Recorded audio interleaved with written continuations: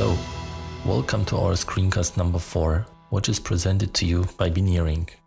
Recently I have been asked by some customers if we could also make a screencast of dynamic web forms, the look and feel, but also how to upload dynamic web forms into the SAP system and how to link this with the SRM UI5 system. So let's get started. I'm choosing first the shop functionality and now SRM UI5 is opening. So this is the Amazon-like look and feel in SAP. Here I can start searching for some web forms. So we will start searching for catering. And this is the first web form. I cannot add this web form to the cart directly. I first have to choose here, go to catalog, which will open the form. The web form is opening in overlay mode, which means not in a separate browser window. We have here a Beneering enhancement and this form is opening in an overlay mode. I cannot click in the background. Now I will have to specify all fields which are mandatory here. I'm deciding for a catering for next Monday and I will now have to choose the building to which building I'm expecting this to be delivered. And uh, actually, if I choose this building, there is no room number selection. If I choose the Techno Park, you see right now, here I can also choose and go for a room number. Now in next step, I cannot continue. I still have to uh, specify here the number of attendees. It's three or two, you also see that the number of fields will only display according to this selection. We don't want to overload the user now with 50 different fields, but we want to minimize the, the amount of fields to what is really necessary. So right now, let me get some numbers entered. And the same for external people. You will see if I confirm without entering mandatory input fields, I have error messages. I can just click it. The cursor is added to that field. And now I can choose also here to select external attendees. Again, the fields pop up and I can choose now other two names and that's it. And I confirm and by confirming it, this web form gets transferred to the SRM UI5 shopping basket. Right now, also one of the Beneering enhancements is that you will see the image of the web form. This is not the SAP standard, there is no image. And what is a really nice feature is I can open this web form and I can start editing this web form data. So as you can see, this was the selection I have done at the beginning. And now I can go here for one more field. So let's click three and I can add one more user and confirm this form again and get this one closed. So this web form, when you open again, you'll see it is buffered and stored and this information is not lost. And this web form document will be stored in SAP forever and it will be linked together with the shopping cart. So this information does not get lost.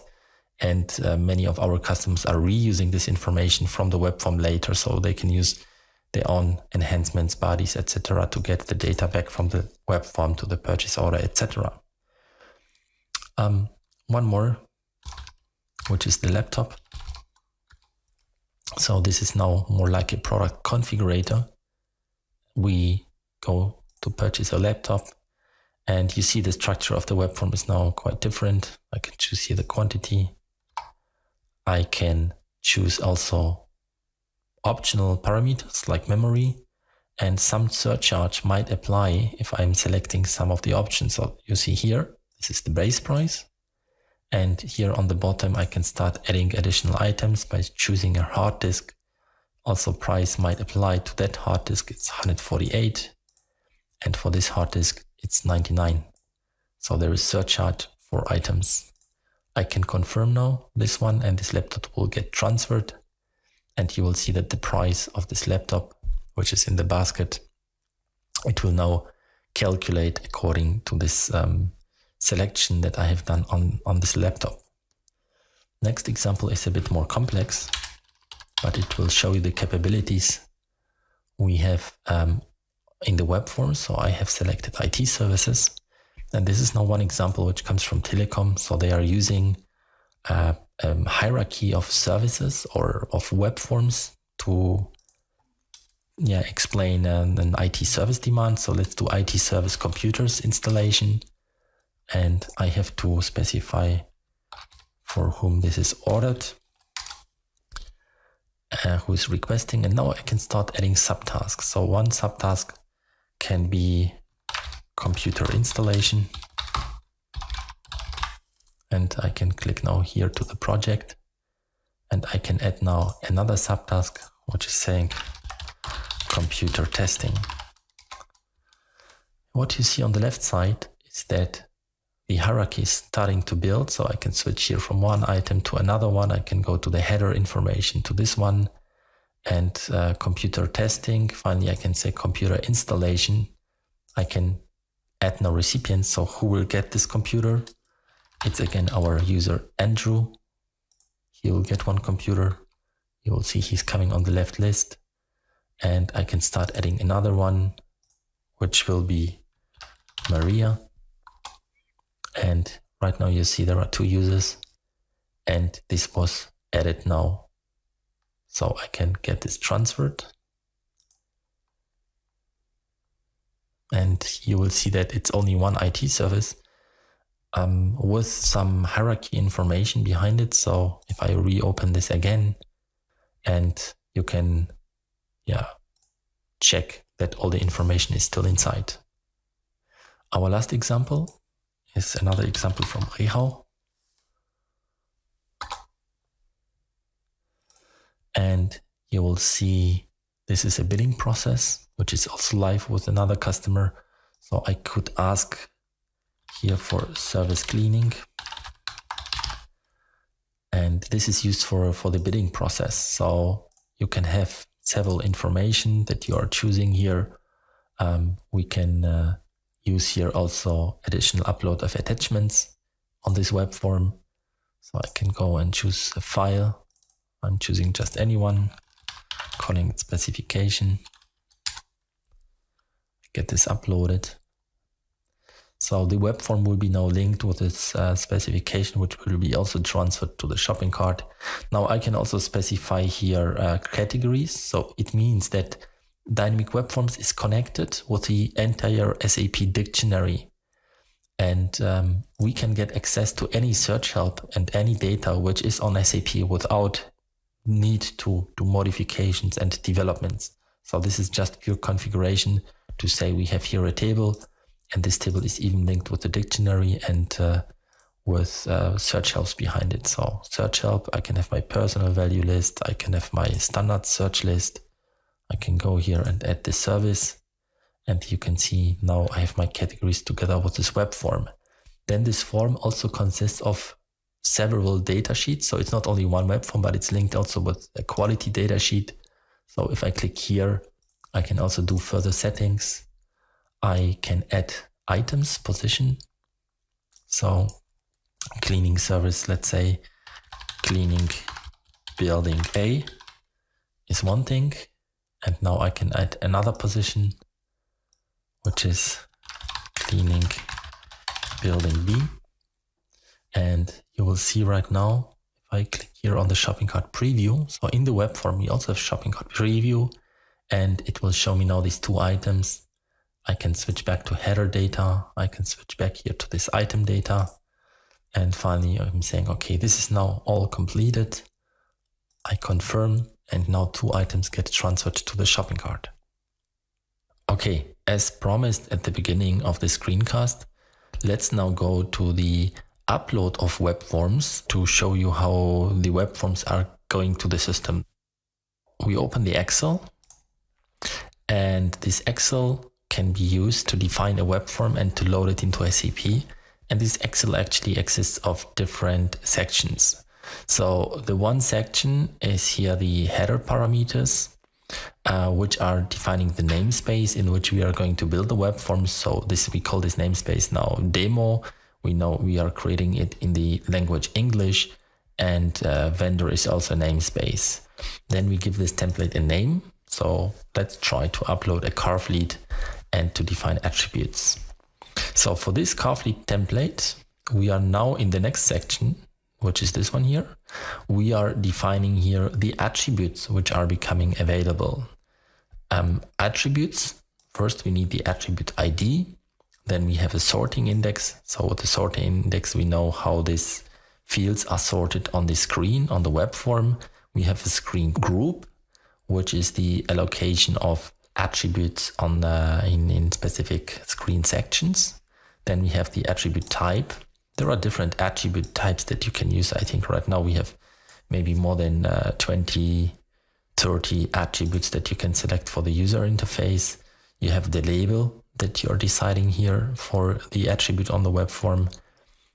Then you can say, is that attribute visible? Is it read only? Is it mandatory?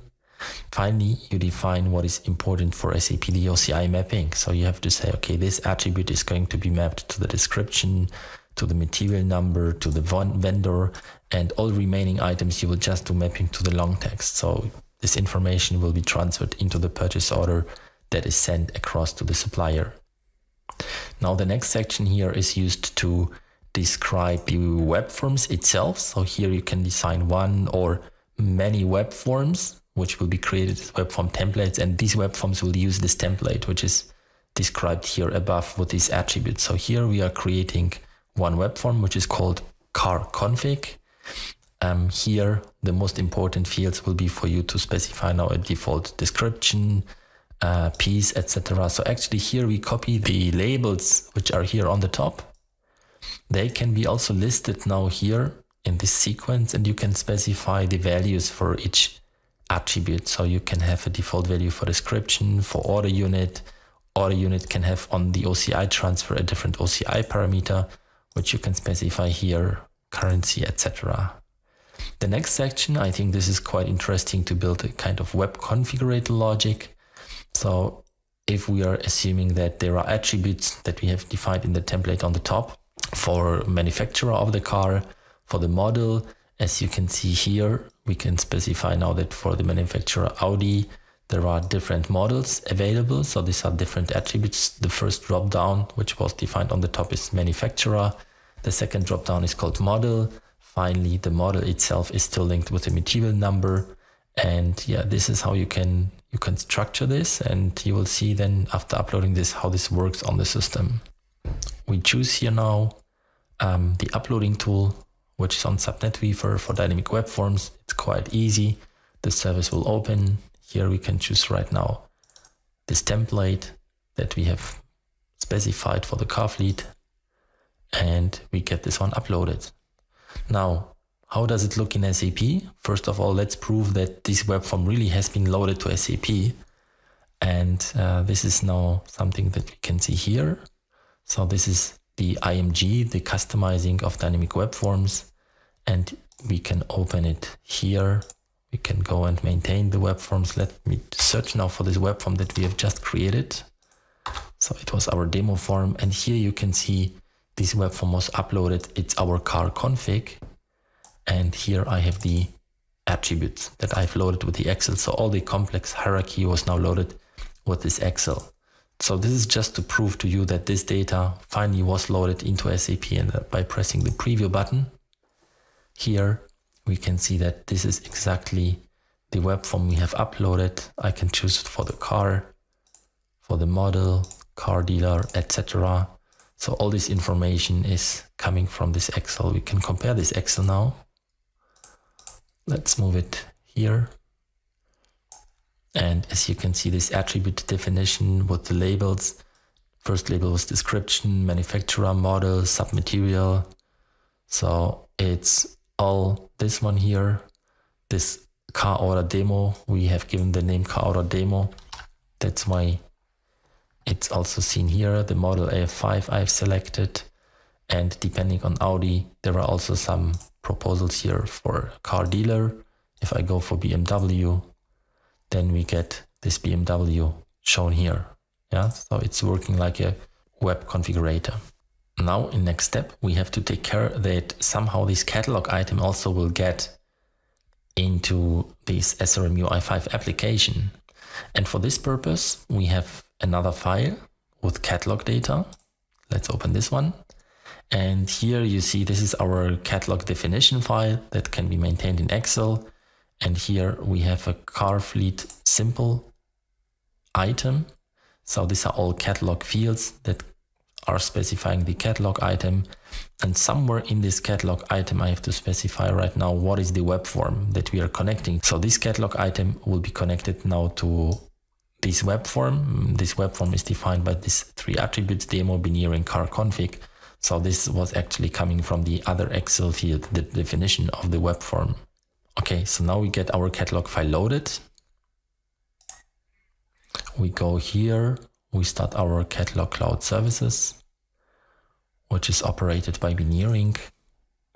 And this is actually right now the interface and the content management system for all the catalogs that are becoming available in SRM UI 5 where you can maintain catalog views, etc. and all the information. And right now here on the left catalog list, I will choose my Beneering web form. So this is my catalog. And I will try to upload here a new file. You see, this is the history of former uploads. And now we get a new one uploaded. So I scroll here to the bottom and I can choose right now this Excel with the web forms with a drag and drop. And now I will say this is an Excel that I'm uploading. Here, I'm just choosing upload file. And now this file gets uploaded and this catalog is classified for auto validation and auto approval. So it will take now only few seconds and uh, then this catalog will be activated. So let's press refresh. Right now we see the validation has started with warnings. And now by pressing another refresh, I assume that this catalog is now activated. Uh, so here we go. This is the catalog file. It's now active. And now I can search for this car fleet item in SRM UI 5 and I can open it from SRM UI 5. So let's get back. Let's open shop. Okay, so now we are in SRM UI 5 and I will search for my car fleet simple. It was not the standard car fleet process, but a simple one. Here I got this item. I open it. And as you can see, again, this web form has opened. And that's the trick with just one Excel file web form definition and the catalog file I need anyway. I can very easily, within few minutes, we can create and activate new web forms in the system. Okay, so thank you for watching this uh, screencast number four. I hope I could give you some valuable information. Yeah, and I hope you will join next time again. Thank you.